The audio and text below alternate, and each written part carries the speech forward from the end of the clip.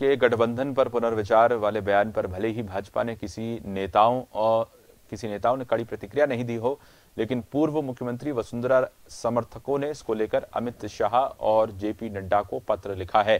पूर्व स्वायत्त शासन मंत्री और छाबड़ा छबड़ा विधायक प्रताप सिंह सिंघवी, पूर्व विधायक भवानी सिंह राजावत, पूर्व विधायक प्रहलाद गुंजल, पूर्व विधायक विद्याशंकर नंदवाना और पूर्व जिला प्रमुख गोविंद सिंह परमार ने संयुक्त प्रेस बयान में कहा कि बेनीवाल, कल क्या आज ही भाजपा से संबंध तोड़ लें?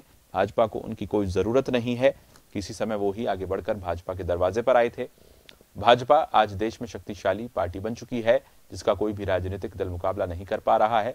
बेनीवाल की तथाकथित राष्ट्रीय लोकतांत्रिक पार्टी, राज्य के मुट्ठी भर लोगों में वो भी जाति विशेष में सिमटी हुई है।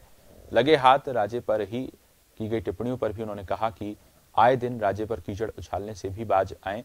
वसुंधरा राजे आज भी राजस्थान की लोकप्रिय जननायिका होते हुए करोड़ों लोगों के दिलों पर राज कर रही हैं। जन टीवी की लेटेस्ट अपडेट पाने के लिए हमारे चैनल को ज़रूर सब्सक्राइब करें और नोटिफिकेशन पाने के लिए बेल आइकॉन दबाएँ।